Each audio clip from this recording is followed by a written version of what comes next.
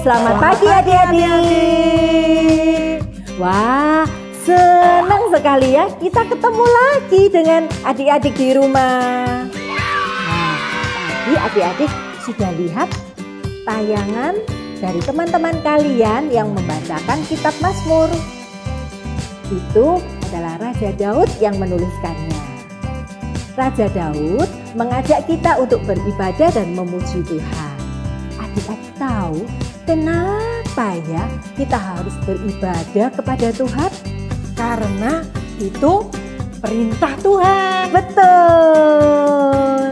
Nah, kita akan siapkan hati kita untuk beribadah kepada Tuhan. Semua tangannya dilipat, matanya ditutup, kita berdoa. Minta Tuhan yang pimpin ibadah kita. Tuhan Yesus, terima kasih Tuhan memberikan kepada kami satu hari di mana kami boleh beribadah kepada Tuhan. Kami mau memuji nama Tuhan dengan penuh sukacita. Terima kasih Tuhan, Tuhan sudah memelihara kami dan memberikan kesehatan kepada kami. Tuhan, bila ada di antara kami yang sedang sakit, kiranya Tuhan jamah dan sembuhkan.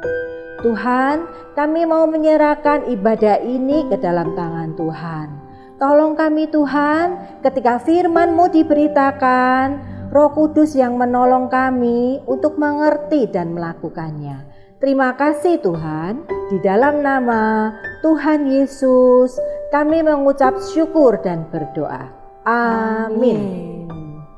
Inilah hari yang dijadikan Tuhan. It's a great day to praise the Lord. Mari kita sama-sama pujikan. Adik-adik ikuti gerakan lausi ya. It's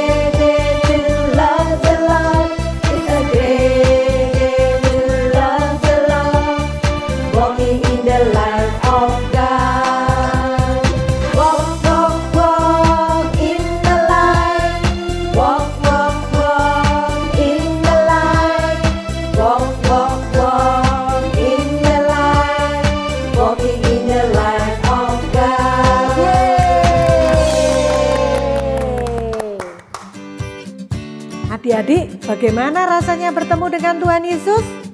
Pastinya sangat bersuka cita loh se. Sekarang kita mau menyanyikan lagu Sukacita bertemu dengan Tuhan Yesus. Sukacita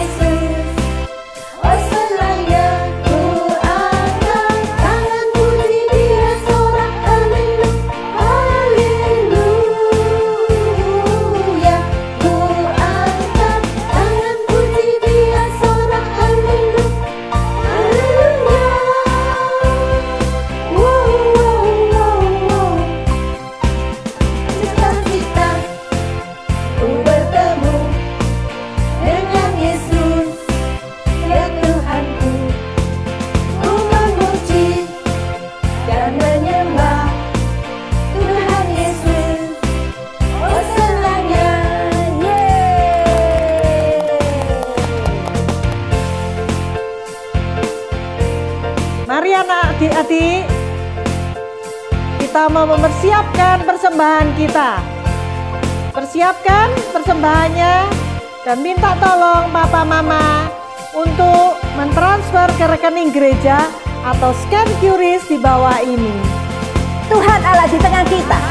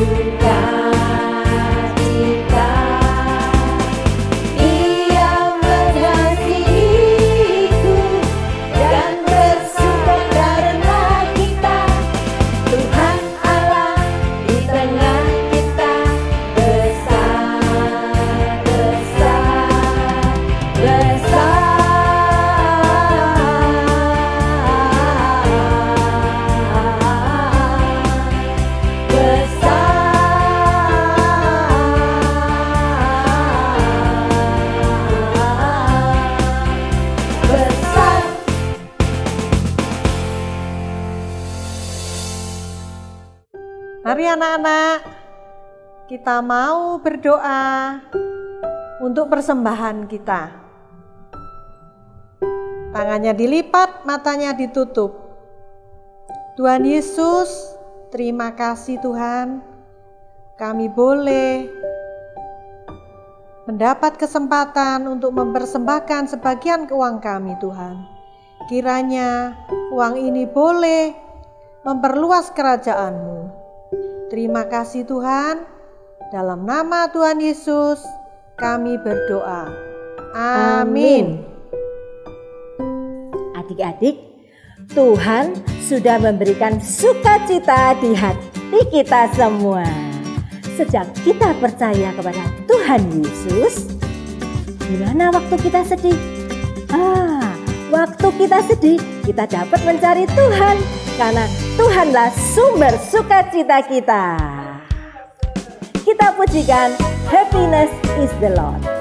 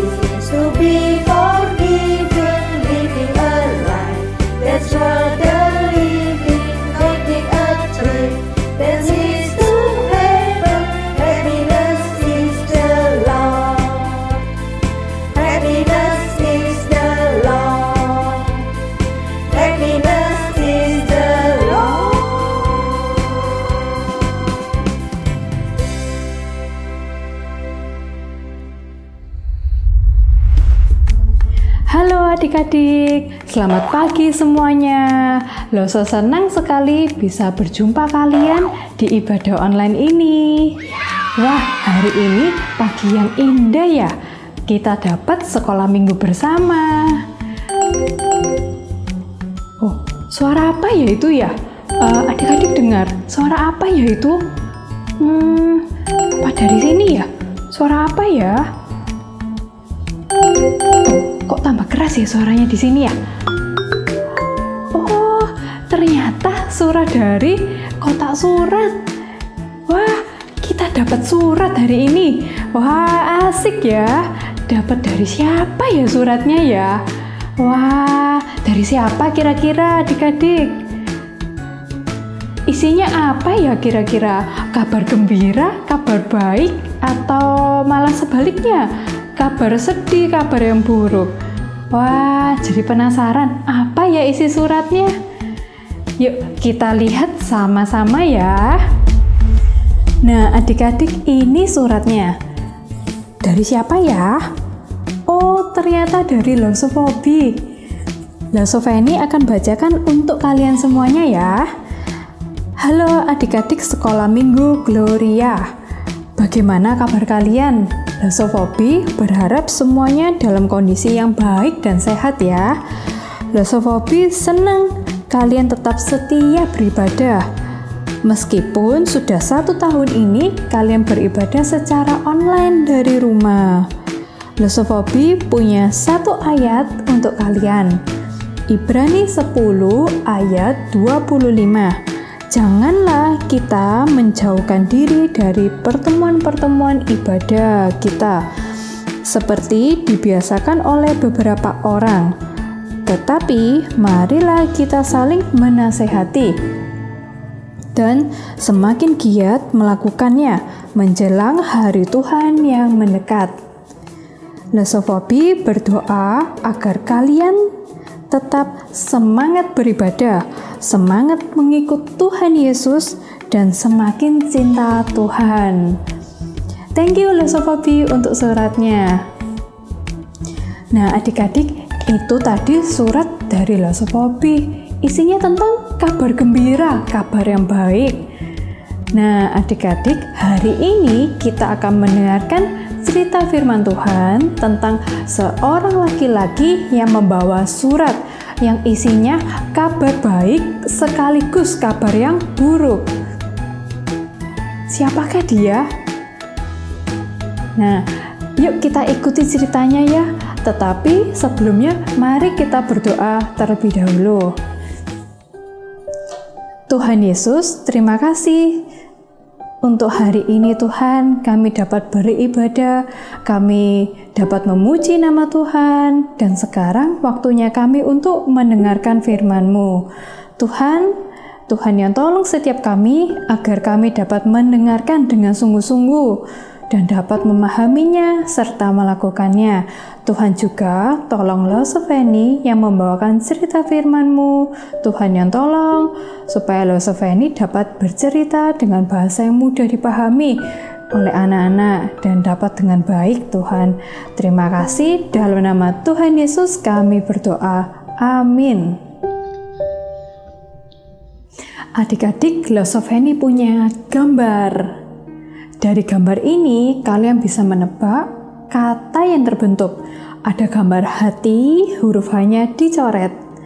Lalu ada gambar tali yang putus, huruf punya dicoret. Jadi, kata apa yang terbentuk? Ya, betul sekali. Titus. Ya, siapakah Titus? Titus adalah rekan sepelayanan Paulus.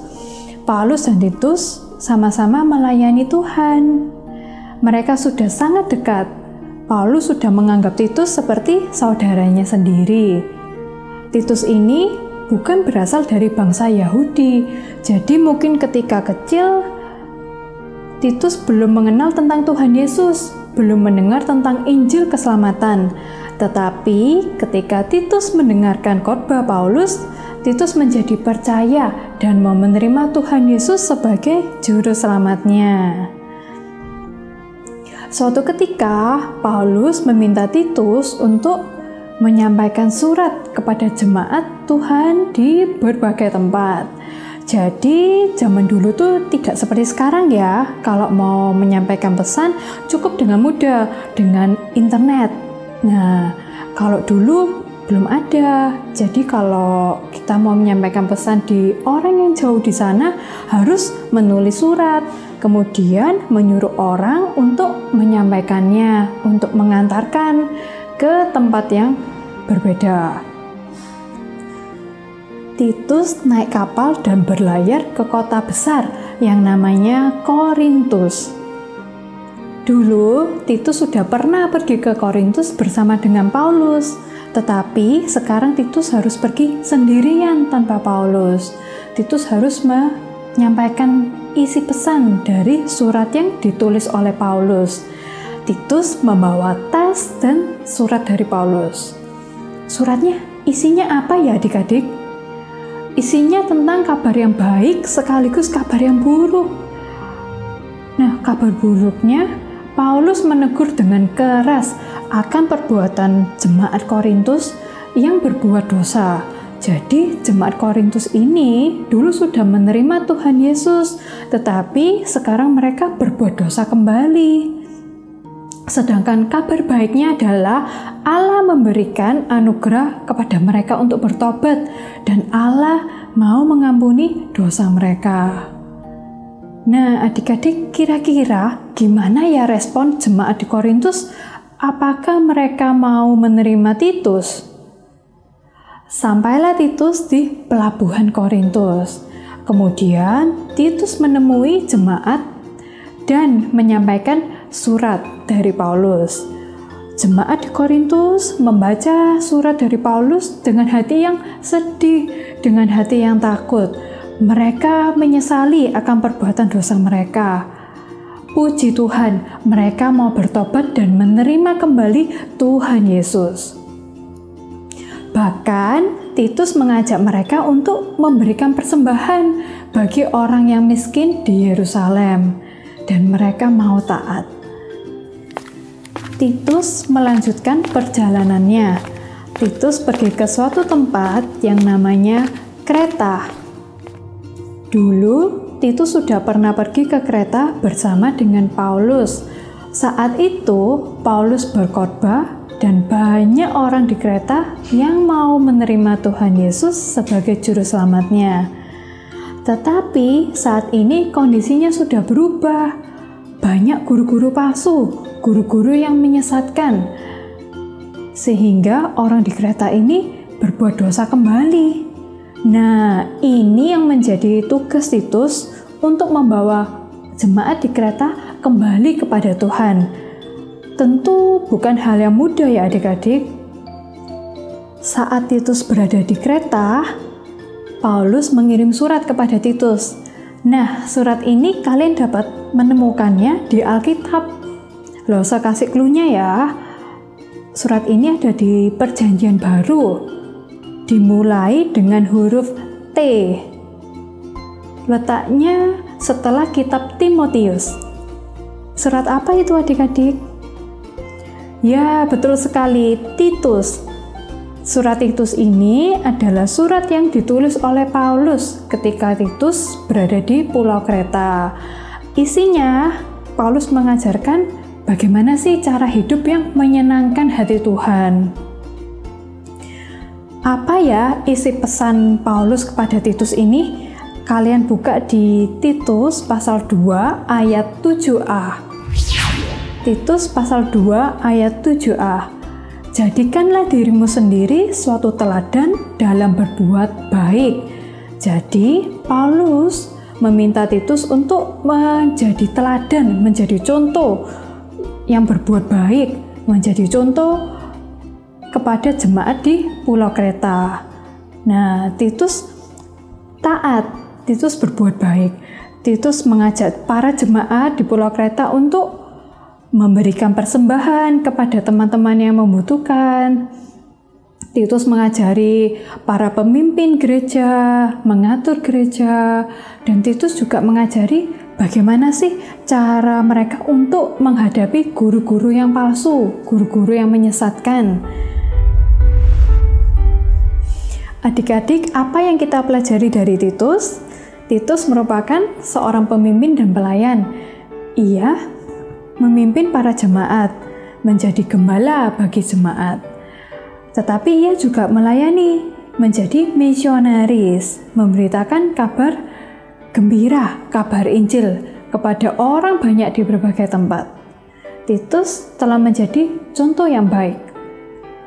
Ia telah memberikan hidupnya dan dipakai oleh Tuhan untuk menjadi berkat bagi banyak orang. Adik-adik, juga bisa seperti Titus. Ya, contohnya di rumah, adik-adik bisa membantu papa mama. Ketika papa mama lagi repot, adik-adik bisa membantu mereka. Nah, adik-adik tahu ini waktunya aku belajar, ini waktunya aku bermain. Kalau belajar, tidak usah disuruh-suruh lagi. Adik-adik bisa belajar sendiri. Kalau mainan, bisa membereskan mainannya sendiri. Nah, itu contoh yang baik. Kalau yang sudah menjadi koko, cice, kalau lihat adiknya lagi kesulitan belajar, kalian bisa membantunya. Ya, nah itu contoh yang baik, ya menjadi teladan yang baik. Adik-adik, maukah kalian memberitakan, memberikan hidup kalian untuk dipakai oleh Tuhan menjadi berkat bagi teman-teman dan keluarga? ya kita mau memohon kepada Tuhan, ya kita mau berdoa kepada Tuhan agar kita mau dipakai oleh Tuhan menjadi berkat bagi banyak orang. Adik-adik, Glasoveni ajak kalian untuk berdoa. Tuhan Yesus, terima kasih untuk firman Tuhan yang sudah kami dengarkan ini. Tuhan, kami mau belajar dari Titus, Titus yang sudah melayani Tuhan dengan hati yang taat, dan Tuhan sudah pakai Titus menjadi berkat bagi banyak orang. Kami mau menjadi contoh yang baik Tuhan bagi keluarga kami, bagi teman-teman kami. Kami mau menjadi teladan yang baik. Tuhan yang tolong setiap kami ini sehingga kami dapat menjadi anak Tuhan yang baik. Terima kasih ya Tuhan, dalam nama Tuhan Yesus kami berdoa. Amin. Adik-adik, sekarang saatnya ayat hafalan. Ayat hafalan hari ini diambil dari Titus pasal 2 ayat 7a. Jadikanlah dirimu sendiri suatu teladan dalam berbuat baik. Sekali lagi ya. Titus pasal 2 ayat 7a. Jadikanlah dirimu sendiri suatu teladan dalam berbuat baik. Oke, sekarang lo hapus kata-katanya. Sudah hafal semuanya? Titus pasal 2 ayat 7a. Jadikanlah dirimu sendiri suatu teladan dalam berbuat baik. Ya, bagus. Sekarang lo hapus semua kata-katanya ya. Oke, ayo sama-sama. Titus pasal 2 ayat 7a. Jadikanlah dirimu sendiri suatu teladan dalam berbuat baik. Hore, bagus semuanya. Sekarang waktunya aktivitas. Jangan lupa dikumpulkan dan lo setunggu sampai hari Selasa. Oke? Oke. Halo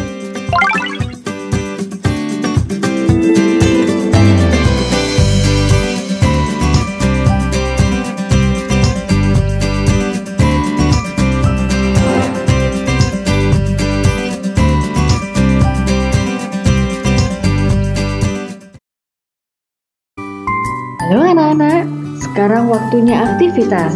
Mari kita buat sama-sama.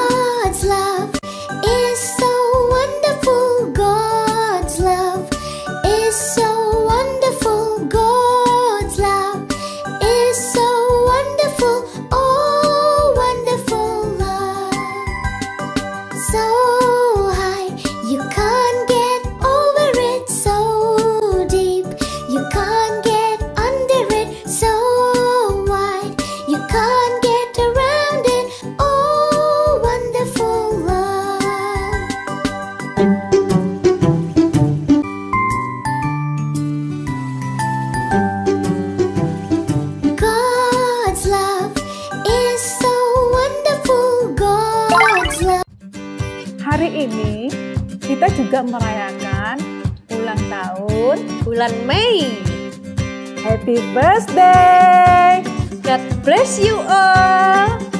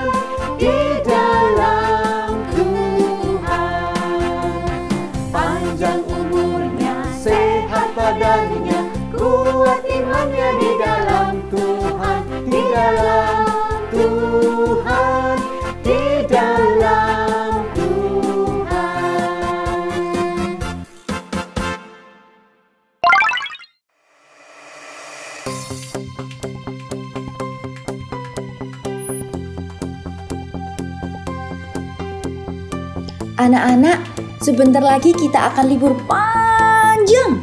Ngapain ya kita? Oh iya, Komisi Anak GKA Gloria Kota Satelit dan GKA Gloria Pacar akan mengadakan VBZ pada tanggal 18 sampai 20 Juni 2021 dengan tema Arise and Shine. Kita akan bertualang bersama di Adventure Island. Acaranya seru, ada firman Tuhan, pujian, games, dan aktivitas. Free untuk semua kelas, dari baby sampai kelas 6 SD. Anak-anak bisa daftar melalui link di bawah ini mulai tanggal 30 Mei sampai 13 Juni 2021. Jangan sampai ketinggalan ya, karena pendaftaran akan ditutup jika kuotanya penuh. Sampai jumpa, God bless you. Adik-adik, ibadah kita sampai di sini. Kita akan ketemu lagi minggu depan. Sampai jumpa. God bless you.